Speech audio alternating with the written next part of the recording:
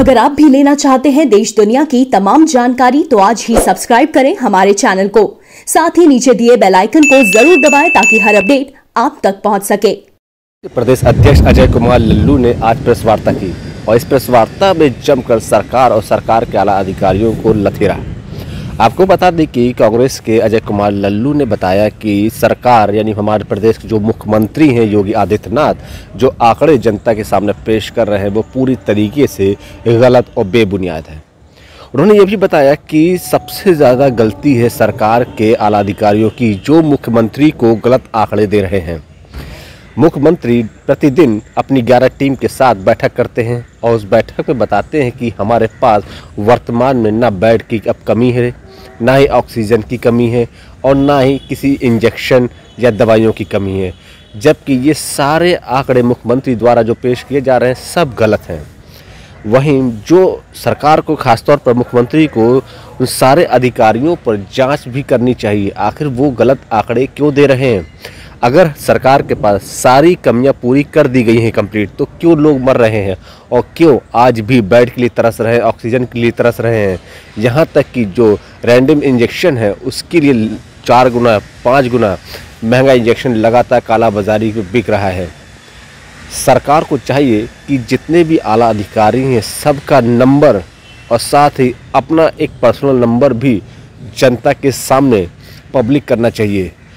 ताकि सरकार को पता चल सके कि जो उनके आला अधिकारी रिपोर्ट दे रहे हैं, वो किस हद तक सही है और किस हद तक गलत है। उत्तर प्रदेश की स्थिति बहुत भयावह है।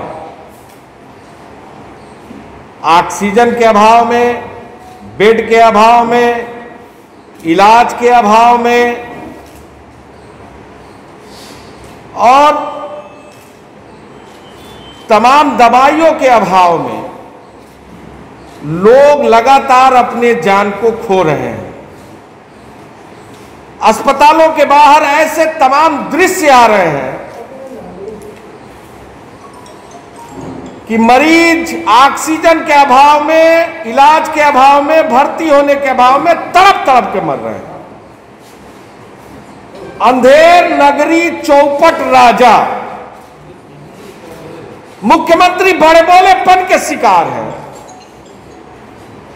और ऐसी कठिन परिस्थिति में भी जहाँ पूरा उत्तर प्रदेश रोज डर की स्थिति में जी रहा है,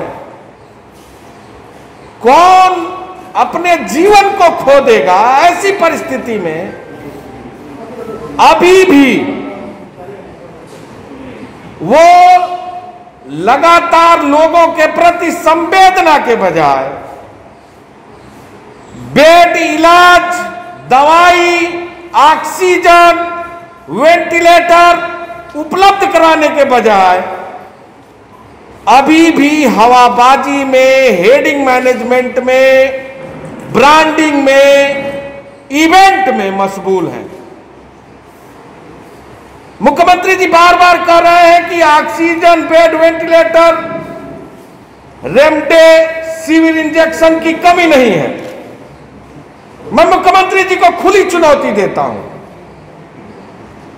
कि जो अधिकारी आपको लगातार यह फीडबैक दे रहे हैं कि उत्तर प्रदेश में oxygen bed ventilator, RAM remdesivir injection की कोई कमी नहीं है मुख्यमंत्री जी मीडिया में, टीवी पर, पेपरों में एक अपना गोपनीय नंबर जारी करें।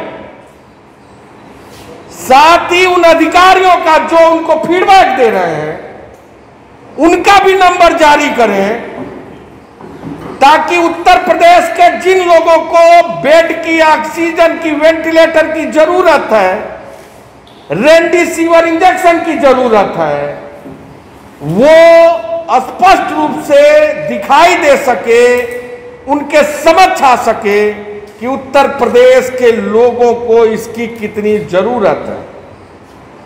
झूठ बोलना बंद करें मुख्यमंत्री।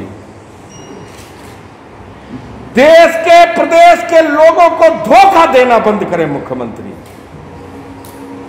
आरटीपीसीआर की टेस्टिंग घटा दी गई है। क्यों घटाया? उत्तर प्रदेश के सभी जनपदों पर कांटेक्ट ट्रेसिंग नहीं किया जा रहा है। यानी जो लोग संक्रमित हैं, उन संक्रमित लोगों के संपर्क में आने वाले लोगों का कोई टेस्टिंग नहीं हो रहा है।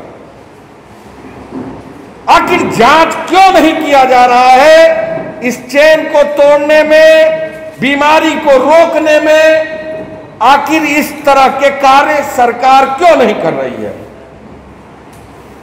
कोई लेना देना नहीं है। मुख्यमंत्री स्वतः उस कंट्रोल रूम में फ़ोन करके पता करें, क्या किसी को इलाज की, दवाई की, बेड की, ऑक्सीजन की, वेंटिलेटर की या रेमडेसिविर या दवाइयों की कोई उपलब्धता वहाँ से हो पा रही है? एसटीएफ ने खुलासा किया और पाँच बार गाजियाबाद में, कानपुर में, गोरखपुर में, लखनऊ में और तमाम जगह से छापे मार के रेमडेसिविर, जो इंजेक्शन है उसको बरामद किया और स्पष्ट तौर से कहा कि उत्तर प्रदेश में यह इंजेक्शन 10 गुने अधिक दाम में बिक रहा है।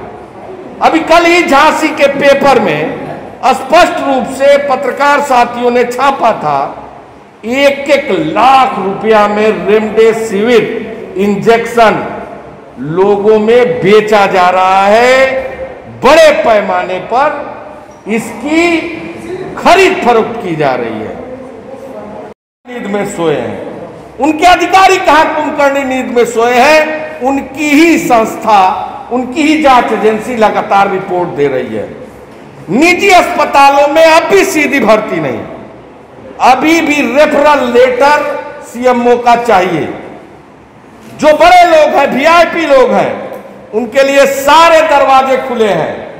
गरीब के लिए कोई दरवाजे नहीं खुले हैं। आपको याद होगा, इन्हीं के एक आजमगढ़ के प्रत्याशी, नाम मैं नहीं लेना चाहूँगा, पीजीआई में भर्ती हुए और सेल्फी लोड करके, सेल्फी लेते हुए लोड करते आए। अगर वो ठीक थे तो पीजीआई में उनकी भर्ती हुई। और जो गरीब है अस्पतालों के बाहर, पीजीआई राम मनोलोई या बलरामपुर, जितने अस्पताल दिए गए हैं, वहाँ तड़प तड़प के मर रहे हैं। और सरकार चुपचाप मौन बनी पड़ी हुई है। जो सरकारी आंकड़े दिए जा रहे हैं, उसमें यह कहा गया है कि कल लखनऊ में तेरह मौत, गाजियाबाद में छह मौत और रोज लगभग 200 लोगों का दावा कर रहे हैं। अभी गाजियाबाद में चले जाइए, वहाँ शमशान घाट पर स्पष्ट रूप से एक कागज़ की तख्ती साटी हुई है, जिसमें कहा गया है कि यहाँ पर शमशान घाट पर जगह नहीं है दाह संस्कार के लिए। वैसा कुंड में चले जाइए। तमाम जगहों से रजिस्टर निकाल लीजिए जहाँ पर रोज दाह संस्कार हो रहे हैं। वहाँ की वास्तविक स्थिति क्या है? रोज लगभग हज़ारों लोगों से अधिक लोगों की मौतें हो रही हैं और सरकार झूठे, पाखंड, घमंड और अब भी आंकड़ों की बाजीगरी में लगी हुई है। तीन विधायक जो सरकार के थे, अभी वो काल के गाल में समा गए।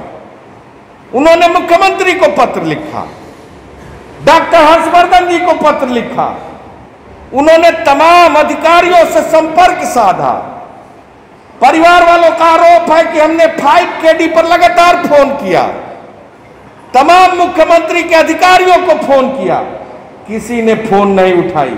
किसी ने उनकी बात नहीं सुनी। और इलाज के अभाव में, आईसीयू बेड के अभाव में, इंजेक्शन के अभाव में लोगों ने दम तोड़ दिया। जो सरकार अपने विधायकों को नहीं बचा सकती, लालत है ऐसी सरकार पर, लालत है ऐसी व्यवस्था पर। विश्व ने माना है उत्तर प्रदेश में कोविड की सबसे अच्छी व्यवस्था। डेढ़ लाख बेड हमने तैयार किया है। कहा है वो बेड? धर्म के धर्मार्थ, संत और महंत, इस तरह लोकतंत्र के मंदिर में झूठ। डेढ़ लाख बेड कहाँ है? क्यों नहीं आज व्यवस्था है वेंटिलेटर की, ऑक्सीजन की? जवाब दे मुख्यमंत्री जवाब देना पड़ेगा आपको उत्तर प्रदेश की जनता को। उत्तर प्रदेश की जनता जानना चाहती है कि आपने लोकतंत्र के मंदिर में कैसे झूठ बोला। आप कहते हैं क्या कि जो प्रधानमंत्री जी कहते हैं कि भारत को विश्व गुरु देश विश्व, ने माना है ये कौन से विश्व गुरु हैं? जिस विश्वगुरु के स्थिति में जहाँ देश में ऑक्सीजन पैदा होता है सबसे बड़ी संख्या में, और वहाँ ऑक्सीजन में ट्रकों की स्थिति न होने के कारण लोगों को ऑक्सीजन के अभाव में दम तोड़ना पड़ रहा है, कौन है उसका जिम्मेदार? वैक्सीन भारत में बनता है, भारत सबसे बड़ा देश है वैक्सीन बनाने वाला।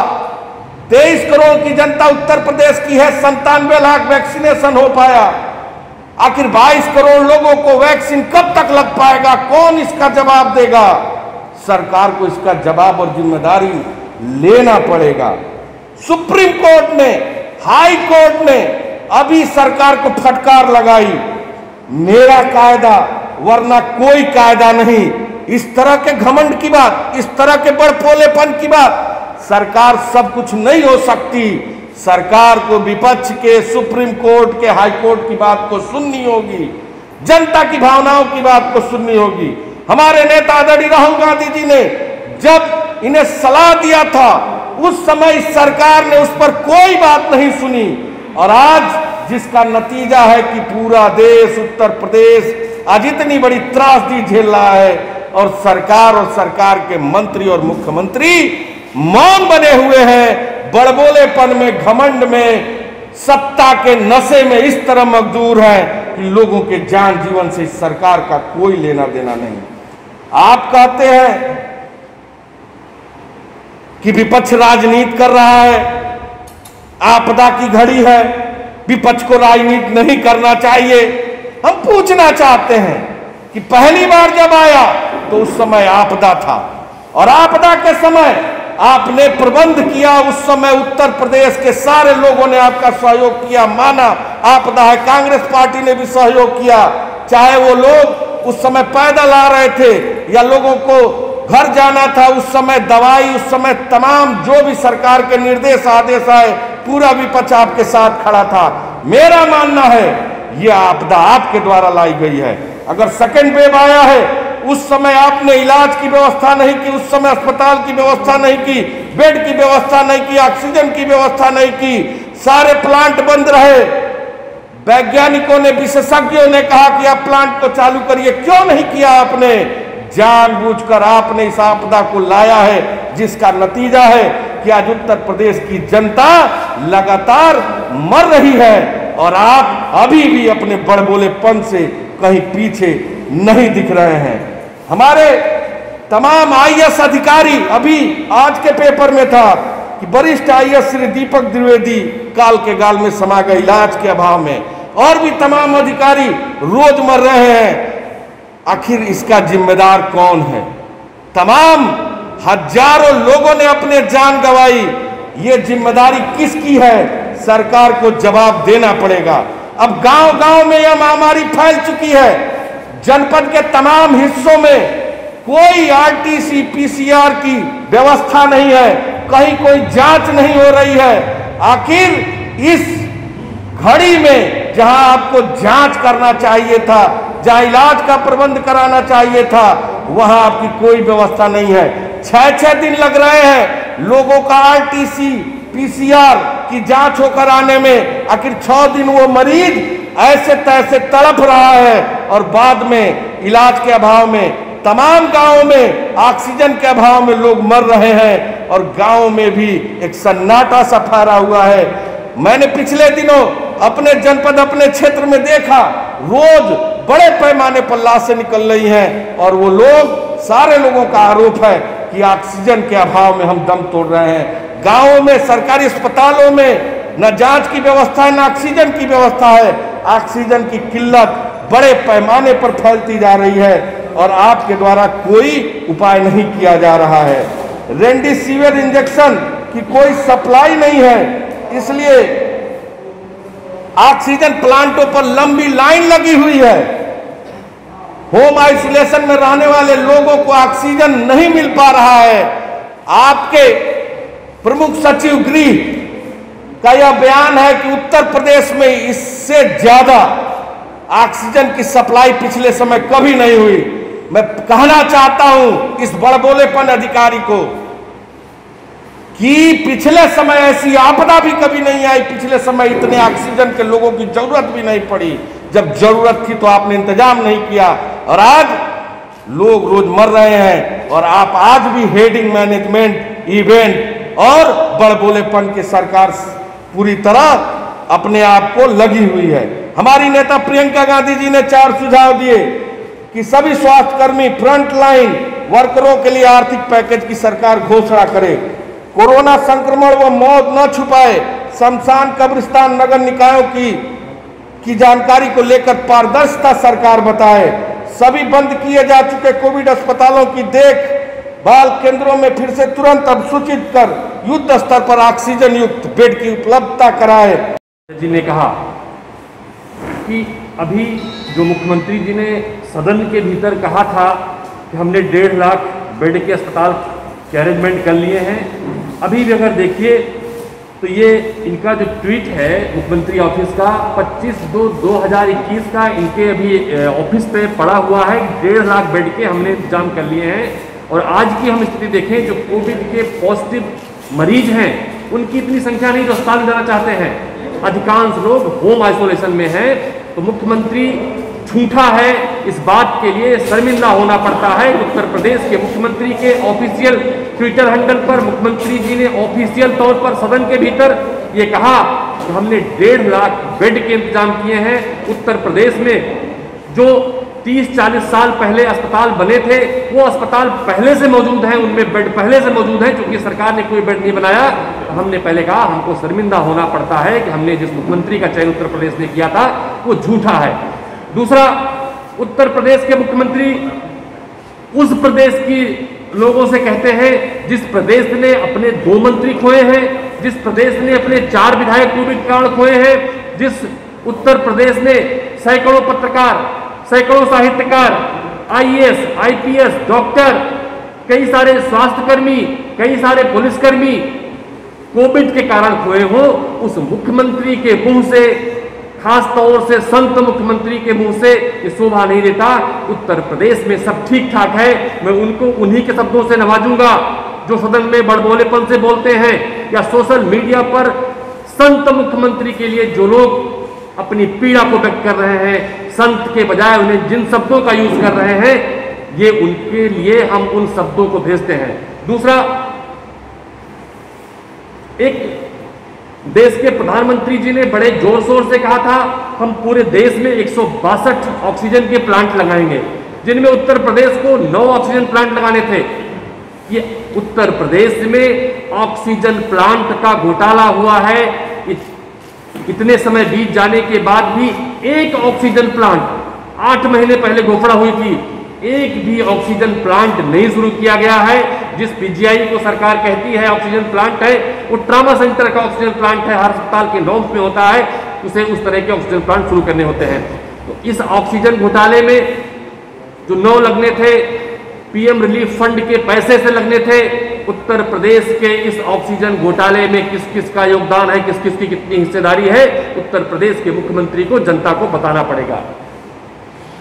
और जिस तरह से उत्तर प्रदेश में लाशों के आंकड़ों को छुपाया जा रहा है ये भी शर्मिंदा कर, करता है हमको पूरे देश में कोविड है पूरी दुनिया में कोविड है लेकिन ऑक्सीजन के लिए बेड के लिए रेमडेसिविर के लिए, दवाओं के लिए, अगर कहीं हाहाकार मचा है, इनके आंकड़ों को छुपाने के लिए तो सिर्फ़ सिर्फ़ उत्तर प्रदेश मचा हुआ है। और अंतिम बात आपसे कहूँगा, मुख्यमंत्री ने हेल्पलाइन नंबर जारी किए हैं।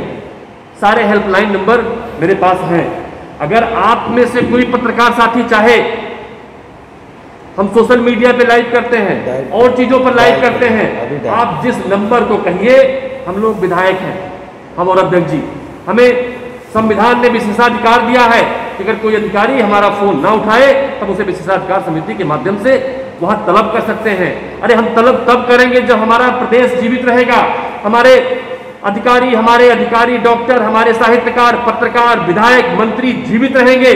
तब हम विशेषाधिकार में जाएँगे, संविधान की बात करेंगे। आज एक भी अधिकारी फ़ोन नहीं उठाता है। हम जिसको कहिए, आप अपने पत्रकार साथियों से कहूँगा, आप नंबर बताइए। जिस अधिकारी का जो मुख्यमंत्री कार्यालय नंबर जारी किए हैं, जो हेल्पलाइन नंबर सरकारी जारी हुए हैं, मैं अपने नंबर से मिलाऊँगा और एक अधिकारी उस फ़ोन को नहीं उठाएगा। मैं आप सबकी जानकारी के लिए, मैं पहले सीएमओ लखनऊ को ही फ़ोन करता हूँ। सीएमओ लखनऊ का फ़ोन उठेगा, इस बात को मुझे लगता नहीं, इस बात की कोई गारंटी है। घंटी आपके सामने जा रही है। ये घंटी आपके सामने जा रही है। जिसको इसके बाद एक नंबर तो मैंने अपने मन से ये डायल किया है।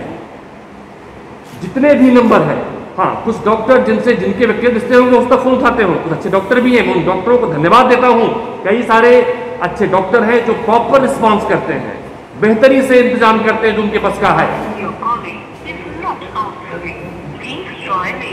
ये फ़ोन नहीं उठता है। इससे बड़ा प्रमाण और आपको नहीं मिल सकता। है तो मुझे लगता है, उत्तर प्रदेश में अभी तक हम सुनते थे डपोर संखी की कहानी। उत्तर प्रदेश पहली बार डपोर संखी मुख्यमंत्री देख रहा है, जो सिर्फ़ बातें करता है, काम करना नहीं जानता। है वहीं कांग्रेस के प्रेस कॉन्फ्रेंस के दौरान दीपक सिंह, जो कि कांग्रेस के विधायक भी हैं, वो भी मौजूद थे। अजय कुमार लल्लू ने जिस तरीके से सरकार पर निशाना साधा तो वहीं दूसरी ओर दीपक सिंह ने मौके पर ही प्रेस वार्ता में तमाम पत्रकारों के सामने भी सरकार के जो काम है, उस पर भी निशाना साधा। उन्होंने मौके पर ही लखनऊ के सीएमओ को कॉल किया। ये दिखाने के लिए कि उनका कॉल उठता है या नहीं। और यही हुआ, जब दीपक सिंह ने लखनऊ के सीएमओ को कॉल किया तो वह कॉल उठा ही नहीं, पूरी रिंग गई और कट गया। वहीं दीपक सिंह ने बताया कि जब एक विधायक कॉल कर रहा है उसका कोई रिस्पांस नहीं मिल रहा है तो आम जनता क्यों रिस्पांस क्यों मिलेगा? सरकार अगर इसी तरीके से नंबर जारी करते रहेंगी लेकिन एक भी नंबर ना ही उठता है और ना ही मिलता है। और अगर गलती से कोई नंबर उठ भी गया तो उसमें एक ही, ही जवाब मिलेगा कि आपकी कंप्लेन नोट कर ली गई है बहुत ही जल्दी आपसे संपर्क किया जाएगा। उसके बाद संपर्क का कोई समय निर्धारित नहीं है कि कॉल आएगी या नहीं आएगी। दीपक सिंह, अजय कुमार लल्लू दोनों ने मिलकर सरकार के कामों को लगभग पूरा गलत नकारते हुए सरकार पर निशाना भी साधा। लखनऊ से प्रभात साक्षी के लिए देवेंद्र प्रताप सिंह